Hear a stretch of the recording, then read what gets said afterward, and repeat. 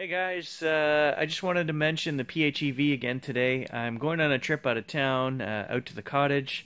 By the time I get there, I won't have any battery, and I have a burning question that needs to be answered, and that is what happens when you put the car in four wheel drive lock, but you have no uh, battery left? Is it going to generate enough power to keep the car in lock? I don't know. Will it dip into that 30% reserve to make sure the car stays uh, in four wheel drive, that, that, the rear axle is turning? I don't know. So maybe later today we'll uh, pop it in four wheel drive with no battery and do a little half an hour drive somewhere just to see does it show that it comes out of four wheel drive? Does is there any kind of indicator that says you can't do this when you have no battery? I don't know. If you guys know, mention it to me, leave it in the comments below, but uh, maybe I'll try that later today and I found a better spot to lock the uh, charging cable when out and about. I'll show you guys that right now. So if you have the tow package installed like I do, uh, an even better place to put a lock on the cable is right on the tow hitch itself. Uh, the door was a little flimsy. It will work.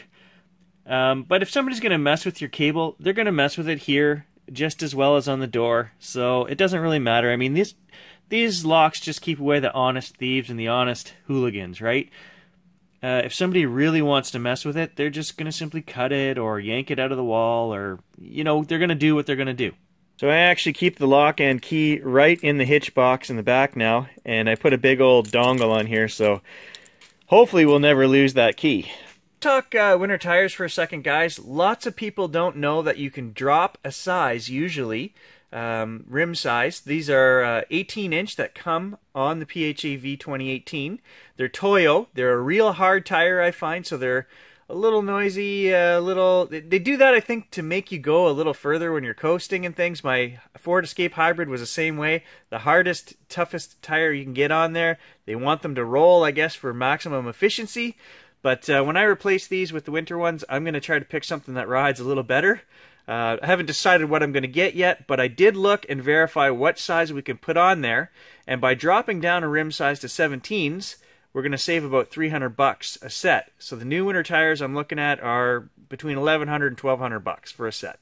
That's with rims. So there's what uh, the 2018 PHEV comes with. And these are Toyo. Those are P225, 55, R18s and we're going to drop down to P225 60 R17s. Alright, so I've decided after three months I'm not going to track my fuel consumption, etc. anymore. I pretty much have a good average on that. I know that I'm getting an average of 7.3 liters per 100 kilometers when I drive on long trips in hybrid mode. Uh, that's going to, of course, vary depending on how many kids you got in the back, how much junk they've got with them, how much sports gear, etc. But roughly, guys, um, we are traveling here on highways in northern Ontario. 100 is the maximum on like the four lane, really good highway. Most of the roads up here are 80 is the speed limit. So we might do a little more than that. Might do 90 up to 100, but uh, there's a lot of speed traps out there. So we're not doing what my friends down in the states are doing, which I've seen you guys do it. I'm doing 120 miles an hour down there, and I'm getting passed. So that's why you guys aren't getting the fuel uh, consumption that I'm getting with this, and it's actually pretty decent. When you keep it under 100, this thing is fantastic. Um, also, my average when plugging it in every day is under 3 liters, 2.98 liters uh, per 100 kilometers. And I know I'm using about 15 to $25 a month in hydro. So, electricity for Americans. Um, so that's, I'm not going to bother tracking that anymore, but I am going to keep tracking the distance that I travel on electric just so I know for warranty purposes and things like that. I used to be a guy who liked tinkering and uh, always had an old car because hey, I didn't have money. But these new ones, man, I don't know how, what half of this stuff is. So for me, uh, oil changes, tire rotations, and I still do the occasional set of brakes on my wife's car if I'm really bored. As well, I wanted to mention I was just checking my oil here, and um, this thing is scheduled in another month and a half to go in for an oil change. Well, it's only got 400 kilometers on the motor. I'm not going to change the oil then. I uh, I've always changed my own oil. I buy synthetic, full synthetic. It's up on the shelf, And uh, back in 2008, my Escape Hybrid in the book had an 18,000 kilometer oil change schedule. So why would this thing, which is using way less motor than the hybrid, have to have the oil changed every six months or um, 500 kilometers in this case? That's about what I put on it. So now I won't go any more than um, you know eight or nine months probably, uh, depending. Uh, I don't switch between summer and winter oil. I put in the lightest oil that I can get, and uh, that's what I run full synthetic. And I don't know. I mean, not a knock on the dealership. I know they're watching, but really, guys, 400, 500 kilometers on something like this in six months doesn't need an oil change. Um, so I just check it, make sure that everything's up before I go on any trips, make sure that there's no particles or anything floating around in there. New vehicle, you never know. People say, oh, why do you check that? Hey, defects happen. I bought a lawn tractor here that's had two transmissions go in it, and it's three years old. So it can happen. And I'm fighting that one for warranty right now, so we'll see. But as for the PHEV, uh, I don't agree with that six month, uh, 500 kilometer schedule. No way. There's something innovative about the PHEV I didn't know. I was looking and there's all sand inside my door. I was like, oh, I'm going to have to vacuum that out. But no, you don't. There's a tab and you can pull the bottom right out. Hey, hey, good job. So, doing 100 kilometers down the highway uh, with the trailer, we're getting 30.4 kilowatt hour use of electricity. I had to redo this shot to get my wife's leg in there, so I know it sells videos. What? I could have filmed my legs. So even doing 100 kilometers an hour and pulling the trailer, we still got over 30 kilometers in electric. Not bad. It does sound like a tractor when it's running. I have noticed at certain times, maybe it's the generator in there that's loud? I wonder if the uh, 2019 with the Atkinson motor in it will be quieter.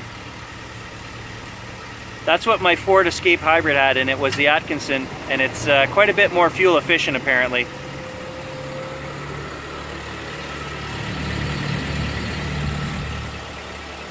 Listen to that baby hum. Okay, so end of trip guys, about 65 kilometers. We had to do some extra stops on the way today, and there's what we're getting pulling the trailer. 30 kilowatt hours and 4.5 liters. All right, so we're at camp. I've unhooked the trailer and I'm gonna put it in 4x4 lock, do another 20 kilometers on the back roads here, and just see what happens if I get any warning lights come up saying you can't use this or anything that shows me that it's not in 4x4. I don't know. We're gonna try it and see what happens. Okay, so you can see we are out of battery and I'm going to put it in four-wheel drive lock. And away we go. Okay, so what I'm seeing, guys, we've come about uh, eight or nine kilometers, is a lot of this. The generator is running and powering the battery, which is keeping both wheels uh, with power, and that's when we're running under 60 kilometers an hour. As soon as I touch over 60, uh, you know, start doing 70 or 80, I see